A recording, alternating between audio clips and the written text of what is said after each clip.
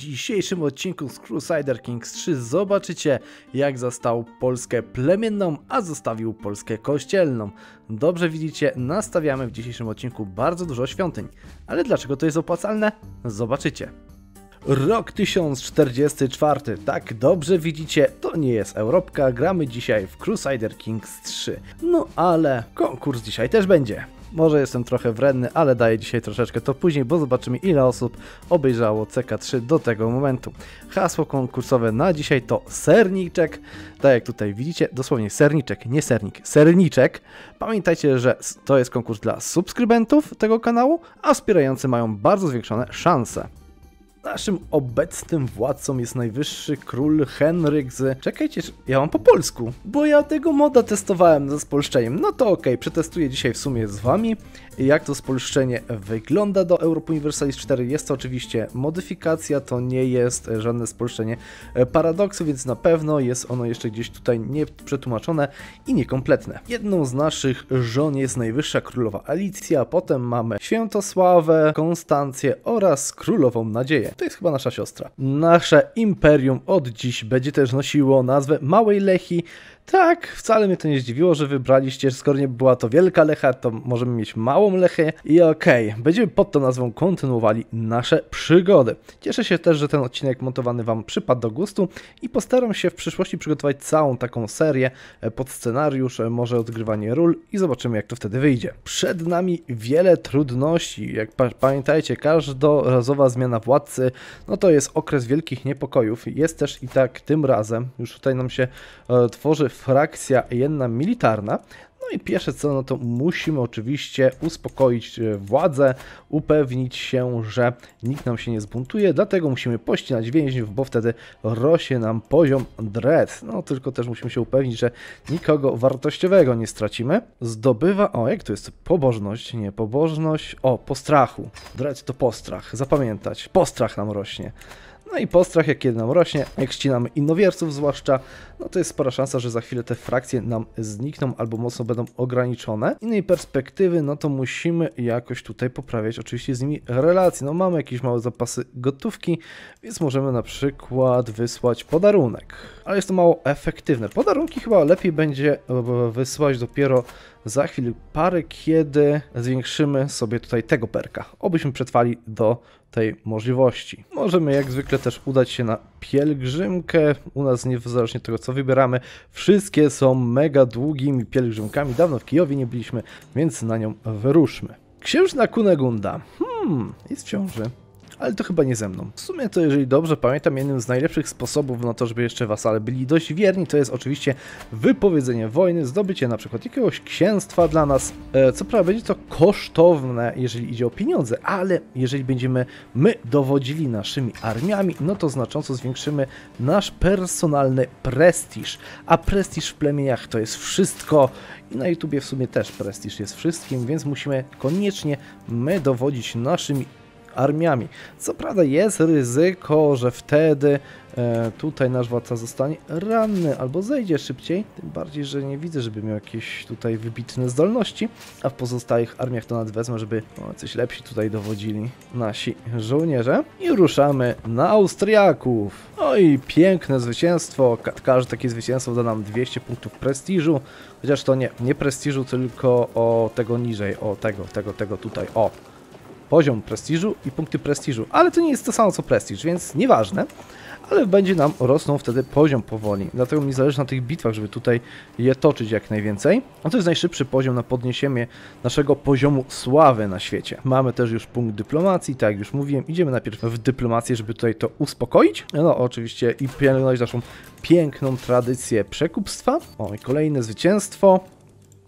I mamy już poziom kolejny? Nie, no, nie, nie, jeszcze nie kolejny. No i niestety, mimo naszych wspaniałych zwycięstw, zyskaliśmy cechę ranny, co daje nam dość sporą karę. Musimy też zatrudnić wtedy fizjoterapeutę, poszukać jakiegoś medyka, chociaż ktoś mi kiedyś mówił, że jest chyba jakiś lepszy sposób na szukanie medyków niż to, co robię w tym momencie, ale to za cholerę nie pamiętam jaki. O, ale historia mojej rany kończy się szczęśliwie, została zdezynfekowana. O dziwo, ludzie umieją to robić już, więc e, nic nie zagraża życiu naszego władcy. No i przez przypadek wygrałem tą wojnę, więc za bardzo nie podniosę mojego poziomu prestiżu.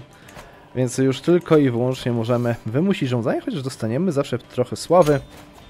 Zdobyliśmy troszeczkę terytorium, które musimy niestety w większości przekazać komuś. O, ja mam wojnę przez to, że zdobyłem to księstwo.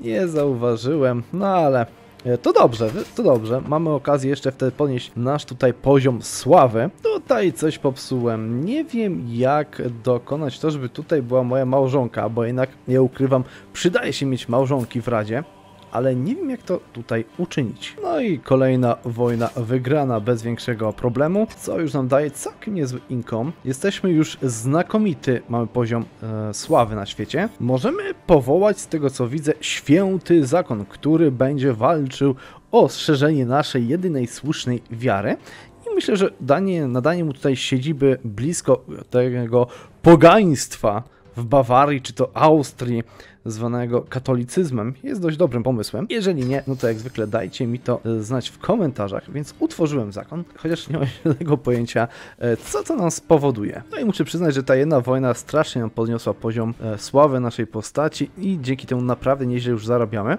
Dodatkowo, jak widzicie, dodatkowe 6000 wojska mamy więcej. Skoro ustabilizowałem już sytuację w kraju, to myślę, że teraz uchwalimy pełną władzę, absolutną władzę plemienną, co powoduje, że no, możemy robić następujące rzeczy, no ale to kosztem jest relacji z moimi wasalami. I jak widzicie, kiedy to wprowadzamy, możemy już przyjąć ustrój feudalny, ale wolę poczekać do zebrania około 2000 e, pieniążków i jednocześnie aż do momentu, jak zacznę tutaj mieć rozwinięte pełne jedno drzewko dyplomatyczne oraz zacznę z, również rozwijać zarządzanie. I z tego co pamiętam, to tutaj chyba był architekt albo zarządca. E, dobry do wprowadzenia zaraz po wprowadzeniu feudalizmu, bo będziemy musieli naprawdę dużo i szybko budować. Masakra, co ci więźniowie są tacy biedni? Nie mają nigdy maksa. Tutaj mam jednego e, cesarza, który bym... Uuu, a co to za jakaś ładna... E, mężata. Hmm... A może by tak ją wziąć do zabawy? Nie, nie warto wydawać punktów wiary na takie złe rzeczy. Masakra, ten mój władca to tylko na imprezy chodzi. Tylko i wyłącznie. Co? Czemu kulturę pruską? Gdzie? Co to się stało? Nie, nie, nie, no co ty, co ty kobieto robisz? Moja, jedna z moich żon zmarła, a z tą się rozwodzę, no przecież nie będę z jakąś, która gardzi kulturą polską się tutaj e, rozwód. Nara. Nie nadajesz się do bycia królową tego wspaniałego imperium. No, czyli muszę znaleźć sobie dwie nowe żony. O, Siostra mojej postaci brzmi jak dobry plan. No powiem wam, że posiadanie tylu małżonek ma swoje plusy w postaci posiadania licznego potomstwa. Szkoda, że tylko wszystko wszyscy u mnie dziedziczą, więc to będzie powodowało, że moje królestwo będzie się rozpadało za każdym razem, jeżeli podbije cokolwiek więcej niż to moje imperium tutaj. Więc musimy teraz jak najszybciej wprowadzić feudalizm oraz następnie, o, trochę nie, źle, że tutaj to sprzedałem za taką kwotę. I okej, okay, niech ta pani nam tutaj rządzi. Musimy poprawić też relacje z naszym dyplomatą. Musimy do niej podarować. Boże, nie no, no, za drogo, za drogo. W międzyczasie, jak tak patrzę, no tutaj mamy Królestwo Asturii, powstało sobie w Hiszpanii. Francja znowu została odtworzona. No tutaj w centralnej części mamy jednak Bawarię jako najpotężniejsza. Czemu otyłość? Wszędzie jestem gruby, nawet w grze. Anglia to już w ogóle jakiś miszmasz, kolorowanka. Irlandia, Albia, Anglia, w ogóle, jeżeli Irlandia jest tutaj, to jest też tak no, dość śmieszne. Cesarstwo bizantyjskie, no, z którego się już wypuściła Bułgaria, Barsno. No ale reszta świata wygląda dość dziwnie. Muszę kiedyś w Indiach zagrać. Ło! O nie! Obym pamiętał, żeby tu cenzurę wstawić. Złe rzeczy tam były. No i zmieniłem sobie na królewnę Łucję, która jest teraz najwyższą królową Łucją. Nie, Świętosławą. Boże, zapamiętaj te imiona żon. E, I teraz to chyba działa tak, że e, ja muszę być ich jedynym małżonkiem, jeżeli tak mi się wydaje, bo teraz mogę ją akurat zrobić naszą tutaj doradczynią w Radzie. O, do Królestwa Mołdawii wróciła nasza dynastia. Zaczepiście. Więc od razu dałem im sojusz, żeby ich zabezpieczyć. Muszę jeszcze jakoś sobie pomyśleć, jak to zrobić, żeby tutaj na przykład na to królestwo wrzucić naszą dynastię, ale to bym musiał mieć jakiegoś władcę, który byłby mistrzem szpiegów, nie? No i już tutaj zmieniłem i będę dążył do rozwinięcia architektury, do profesjonalnej siły roboczej, która skraca czas budowy e, wszelkich budowli o 30%. No i myślę, że jesteśmy gotowi. Nasz władca liczy sobie 43 lata, ma dość sporo dziedziców i powiem, że najlepiej tutaj wygląda Agnieszka, która ma 15 lat i naprawdę ma niezłe cechy charakteru. Do tego jest też zmysłową postacią, więc i co prawda wydałem ją za brata, który jest na razie naszym głównym następcą, ale żeby Agnieszka dziedziczyła, to ja bym musiał aż trójkę, czwórkę na trzech, nie trójkę naszych dzieci pozbawić dziedzictwa. Jakoś mi się tak serce kraje, jakbym miał to zrobić wszystko tutaj. Kurka, jak naprawdę mam teraz sporą familię, 14 dzieci posiadam. Chyba właśnie znalazłem dobry sposób na rozwiązanie problemu starzenia się społeczeństwa. To wszystko wina monogami. No więc przyjmijmy ustrój feudalny. Jestem ciekaw, czy to przetrwam. Na pewno będzie to dla nas bolesne. Nowa era nadeszła. Zmieniamy typ rządów na feudalizm. Co nam się tutaj dzieje? Wszystkie posiadłości plemień zostaną przekształcone w posiadłości zamkowe. E, plemieni wasale przyjmą feudalizm. Na eneba.com wciąż trwa świąteczna wyprzedaż z kodem Lukas 3% zniżki, linki w opisie. I muszę przyznać, że nie jest tragicznie. Nadal mam dość sporą ilość wojska. Myślałem, że będę miał go mniej. Nie zmienia to faktu, że teraz w teorii nasi wasale stali się znacznie, ale to znacznie groźniejsi. Z tego co widzę, to Oh my god, ile frakcji nowych. Teraz jak tak przeglądam, to wydaje mi się, że najlepiej będzie nam wszędzie pobudować w pierwszej kolejności klasztory. Każdy klasztor rozwinięty na maksa daje nam dość niezły przyrost pobożności, no ale zanim do tego dojdziemy, no to trzeba jeszcze technologię odpowiednią rozwinąć. No ale możemy tak tutaj rozbudowywać te kwestie. E, żeby obejść troszeczkę proces całego dziedziczenia, wszędzie tutaj zbudujemy świątynię e, w tym naszym obszarze naraz. Wydaje mi się, e, że z tego co pamiętam, jest to najlepsza równowaga pomiędzy ilością wojska oraz ilością pieniędzy, jakie z danego jednego hrabstwa możemy wyciągnąć. Wydziedziczanie kosztuje mnie też punkty renomy. Ech, no to trudno. Skoro nie muszę, no to tego nie będę robił, bo jednak zależy mi też tutaj na rozwinięciu całej naszej linii krwi na maksa. Tym bardziej, że teraz będziemy mieli, że wybrana cecha stanie się cechą jakby taką rozpoznawalną naszej dynastii i będzie się pojawiała bardzo często w naszej dynastii.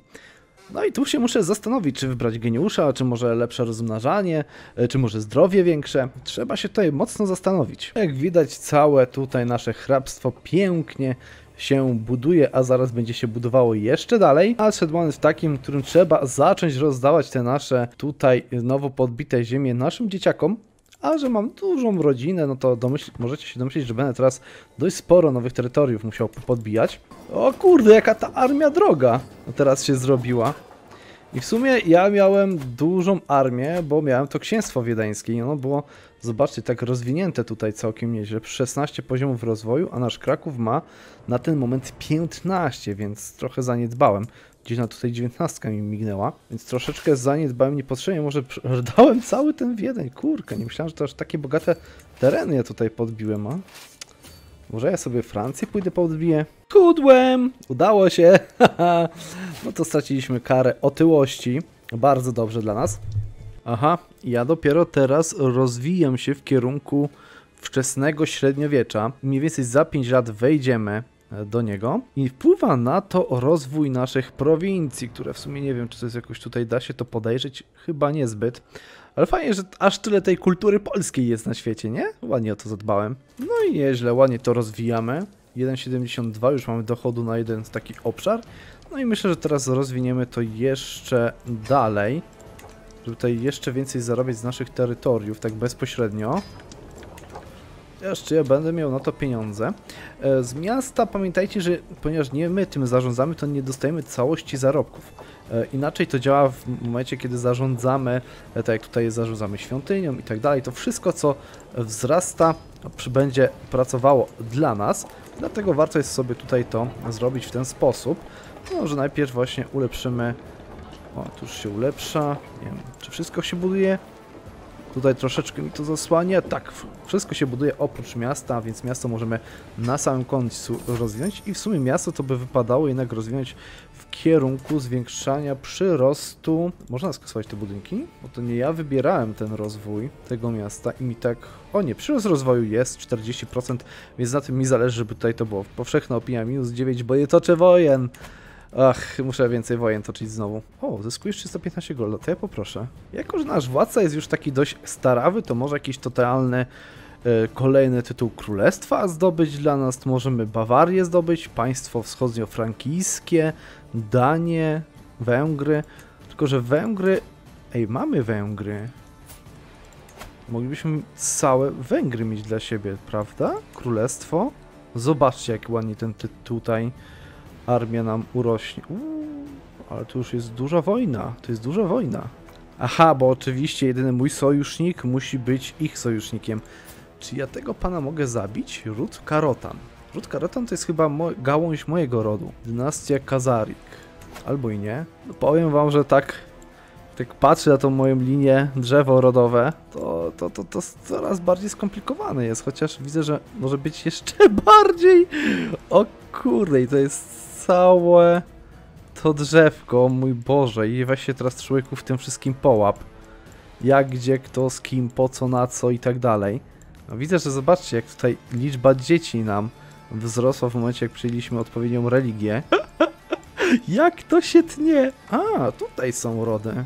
Mamy 347 żywych członków z naszej dynastii oraz 12 rodów z naszej dynastii. Oczywiście nasza dynastia Lędzian, ród założycielski. I dodatkowo jakieś tutaj dodatkowe gałęzie. Aż tyle mamy tego. Wow, patrzcie to. To ty jesteś wspaniały. Uuu, ego rośnie. Dobra, powiem wam szczerze, że tutaj mi się mega nie podoba ta nasza granica, więc ją spróbujmy teraz poprawić, żeby była ładniejsza. Tylko gdzie moje wojska? O, tutaj przenieśmy. Czy jest jakiś lepszy sposób szukania tego? E, myślę, że musimy tutaj najechać te terytoria po kolei, a że dostaję już niezłe kary za to, że nie prowadzę wojny. Niepotrzebnie robiłem sobie tak, taką religię. O, chyba, że roszczenie tego hrabia przeprowadzimy. No to niech będzie. No i mamy tutaj łuszczenie, łuszczycę. Płodność minus 20%, ale jest piękna mimo łuszczycy i dostajemy płodność plus 30% geniusz i muskularna. To będzie ciekawa postać. O, coś się rozpadło. No i rozbudowaliśmy nasze świątynie do drugiego poziomu. Nie możemy ich podnieść niestety. No to teraz może rozbudujmy o koszary. Z tego co widziałem, Koszary dają bonus do ciężkiej piechoty oraz poborowych 825, jak i współczynnik ich wzmocnienia o 5%. Alternatywą mogą być obozy wojskowe i tutaj jakbyśmy szli w łuczników i lekką jazdę, to też może być fajne, obrażenie harcowników, ale wtedy nie mamy poborowych. Kontrola jest, ma większy przyrost w danej prowincji, no ale myślę, że pójdziemy tutaj w koszary, zawsze to będzie na propsie, żeby tak zwiększyć jeszcze bardzo o, to może tutaj jeszcze wcześniej to ulepszmy, skoro nie mam tego zrobionego. Żeby pieniądze były na pierwszym miejscu, bo za pieniądze budujemy przecież całą resztę. To wcale nie tak, że przed chwilą właśnie przeklikałem całe moje rodzeństwo, znaczy moje rodzeństwo, moje dzieci i każde wyszło za swoją siostrę. No, albo za mojego brata, coś takiego tutaj zrobiłem. Ej, ten jest... Mm, o nie, dobra, to też jest to nie jest mój syn, to tutaj się coś pomyliłem. E, ale to wiecie, jest dużo tych postaci, więc tak idzie sobie tutaj kliknąć, no tutaj z bratem. Takie tam. Powiem szczerze, że jestem ciekawy, jak bardzo może tutaj dojść do jakichś złych rzeczy. No i teraz wszędzie buduję koszary. O, jednak nie wszędzie. Tutaj mi jeszcze y, monasterz został do zbudowania. Nie mogę też wybudować budynku za księstwo, ponieważ musimy jeszcze wcześniej odpowiednią technologię opracować. Miasta ulepszyć nie mogę. No i byśmy mieli wtedy cały tutaj, całe hrabstwo Krakowa ulepszone.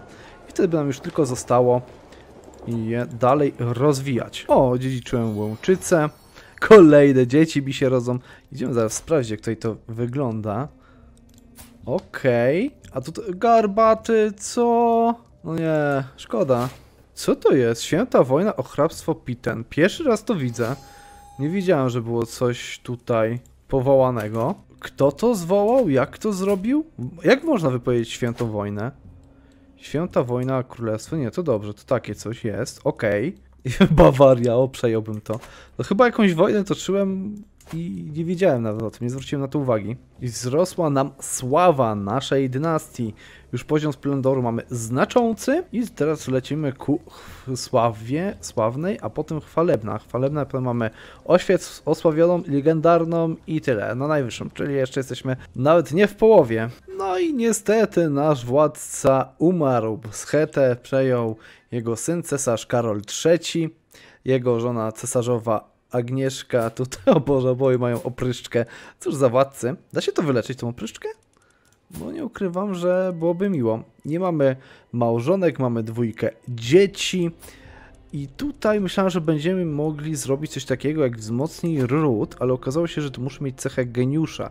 No to żałuję, że teraz nie zrobiłem czegoś takiego, e, że wydziedziczyłem, żeby dostać cechę silną krew, szansa na odziedziczenie dobrych cech plus 40%, mała premia do zdrowia.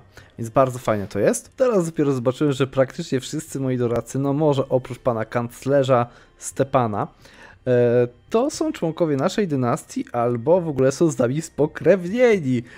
No nie ukrywam, dość śmiesznie to wygląda. Wszystkie ziemie, które były poza hrabstwem Krakowa straciliśmy, dosłownie, więc e, zostały rozdane moim dzieciom, no i trzeba o tym pamiętać, że właśnie dlatego warto jest rozwijać przy, na początku właśnie ten jeden obszar za wszelką cenę, e, bo tego nie tracicie, to zostaje zawsze e, u Was, e, ponieważ dziedziczenie jest do poziomu hrabstwa, więc jeżeli hrabstwo macie rozwinięte i dostajecie i rozwiecie w hrabstwie kolejne baronie, to wszystko Wam pozostanie, to wszystko będzie należało do Was i to jest właśnie najfajniejsze e, w tego typu graniu. I teraz jak mogę się dowiedzieć, ile z tych wojów to jest moja armia, a ilu to są poborowi moich wasali? Chyba nie ma tutaj takiego rozróżnienia, tak mi się wydaje. O, jak działa ten zakon? Mogę ich zatrudnić. Wojownicy Peruna. 3386 wojów. Okej. Okay. Muszę to kiedyś przetestować. No ale to tyle. Nasze imperium powoli rozbudowujemy. I teraz niedługo nas czeka mongolska inwazja. Ona powinna się pojawić za do 50 lat. Więc jestem ciekaw, jak tutaj yy, się z tym dalej podzieje nam.